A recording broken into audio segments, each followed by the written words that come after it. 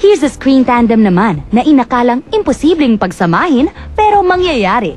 Talk about Tinseltown's most current heartthrobs, Richard Gutierrez and Casey Concepcion, who belong to two different worlds. Uy, not necessarily in different worlds, ha? Alam niyo na ba ako na yung team ng, ng movie niyo? Uh, well, for the for the Star Cinema movie, it's a light romance. Light romance? Yeah, part of it is going to be shot in Greece. How's your genre film uh, different from your uh, Star Cinema film, Casey? We don't know the details yet. So Ah, we're looking okay. forward to getting to know um, more about the two films uh, as we go along. Expectations? Well, we're not really expecting, you know, anything. We're just No going. expectations. Right But now, we we're are. just going. right now, we're just going with the flow. Um, and uh, all I can assure um, Casey is that we're gonna enjoy filming her first movie, and uh, we're gonna make it a wonderful experience for her. You, you're friends, no? I thought when Richard was in Paris last year, no?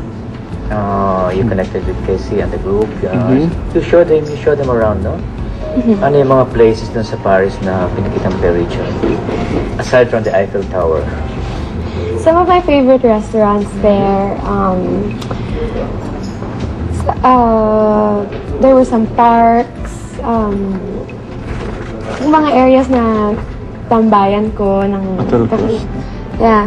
Yung may isang hotel doon na favorite namin ng mga kaibigan ko. So doon kami nagde-dinner and uh, nagsha-champagne, champagne, gano'n. Ayan. So, dinala ko sila doon kasi it's really a sight to see also na um, at one point, naging favorite daw ni Madonna yon Wow. Yung hotel na yon And maliit lang siya, pero talagang stylish. So, very Parisian yung, yung aura ng place, yung ambiance ng place. So, one time for dinner, grupo kaming nagpunta doon. And after that, naglakad-lakad lang kami sa, sa mga park-park kasi yun yung mga gawain doon. Tito Ricky just couldn't wait for the chance. May 22, Webes, alas 11 ng umaga at the 12th floor of the GMA building nang idaos ang contract signing para sa GMA Films project na pagbibidahan ni na Richard at Casey. Titled When I Met You, it has a target Valentine playdate next year. What makes uh, Casey the ideal uh, leading lady? And later, uh, what makes Richard the ideal uh, leading man? No, ladies first. Aside from Ideal leading your friends, man? yeah? We, he, mahilig siya sa adventures kasi po, Tita Ricky. So, um, nasasabayan namin yung isa't isa sa adventures. And um, we're game for anything. She's fun to be with. I enjoy being with her, and she's great company. And uh, she's very talented. Oh, oh, oh. And I'm just stunned with her beauty. He's blushing. Richard, you're free as far as I know. Are you? You're free, no? It's a free day today, no? And you are free, no? as far yes, as we're know? both happy to be free. So free. there's a possibility that you might be linked to each other, not only on screen but also off screen, no? What We're do you- young, What, what do you we're- think? Bagay na bagay kayo, oh. We're young, we're free, we're, mm. we're, we're having fun. Mm. So, I don't know. Oh, ganun, ganun muna ngayon. Uh, you know, we're just going with the flow right now. And um, um, let's see where it takes us, di ba? Casey, what qualities of a guy, uh, your ideal man, do you see in Richard? Maganda yung style niya. Gusto ko yung pananamit niya. Gusto ko yung lagi siyang, yun nga, malinis tingnan, Oo nga, mabango no? tingnan. Hmm, mukhang bathroom first, ano? Palagi, Kahit may ano? konting mga scrub-scrub, hindi siya madungis tingnan. I like her balance of composure. She knows how to carry herself well. And I like that.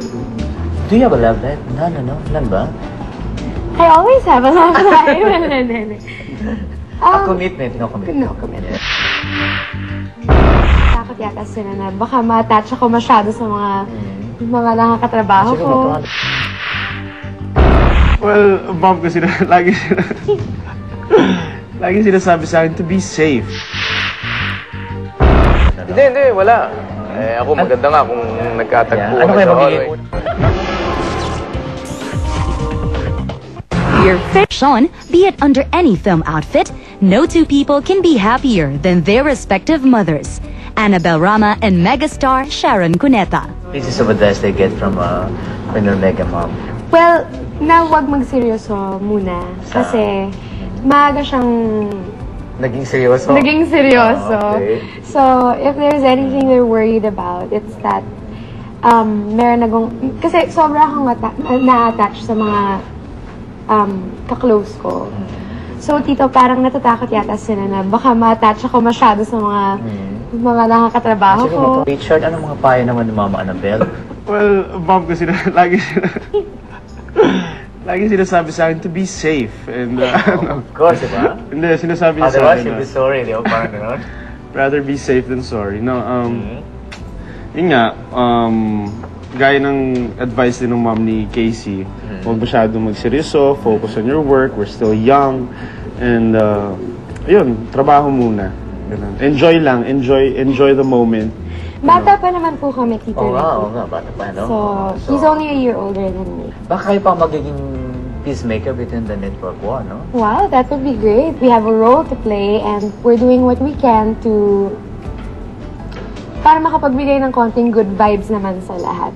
About uh, the contract that you signed for GMA, are you doing any other projects aside from the movie? Pinayagan ako ng ABS na um, pinahiram nila ako sa GMA. After months and months na negotiation, talagang binigay naman After nila all yung the ups and downs, ups and Ups downs. and downs talaga. Opo. Yeah, that's why we're very thankful to both networks na pinayagan kami to work together. And for the two networks, just to sit down and agree on one thing is already an achievement. So we're very honored to be part of it. Si Richard na Captain Barbell na, would you like uh, uh, Casey to be your Darna? I would love to.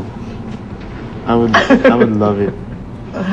Invite them to watch the Star uh, Star Cinema movie in August and the GMA film in February next year. Hello everyone!